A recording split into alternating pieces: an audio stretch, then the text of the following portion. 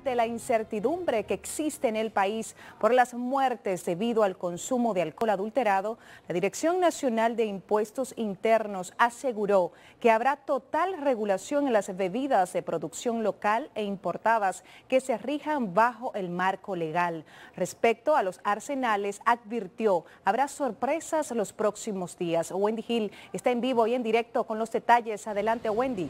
Buenas tardes. Muchísimas gracias y muy buenas tardes, Julieta. A partir de ahora habrá un control total de las bebidas alcohólicas y cigarrillos de fábricas nacionales y extranjeras que se comercializan a nivel local. La información la dio a conocer el director de la DGI tras anunciar la renegociación del contrato de la empresa CIPCA SA para la trazabilidad fiscal y regulación de las bebidas. Son al menos 1.160 productos nacionales.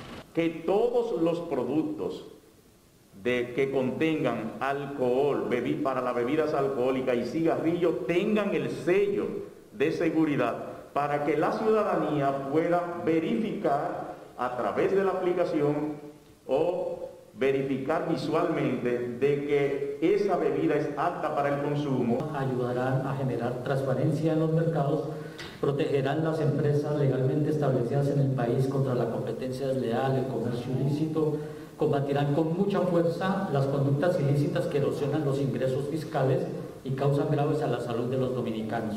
Sin embargo, las de fabricación artesanal cuyo ingrediente principal es el metanol que ha matado más de un centenar de personas queda fuera del control de la DGI. El gobierno a través de otras entidades realiza investigaciones y se espera los próximos días resultados. Con ese seguimiento ustedes verán en, los próximos, en las próximas horas muchas sorpresas. Con el nuevo contrato con CIPCA, el Estado dominicano se ahorrará el 48% del costo del sistema de tráfico. Este monto asciende a 30 millones como parte de la recuperación económica para enfrentar la pandemia del COVID-19. Regreso contigo a los estudios. Muy buenas tardes. Muchísimas gracias.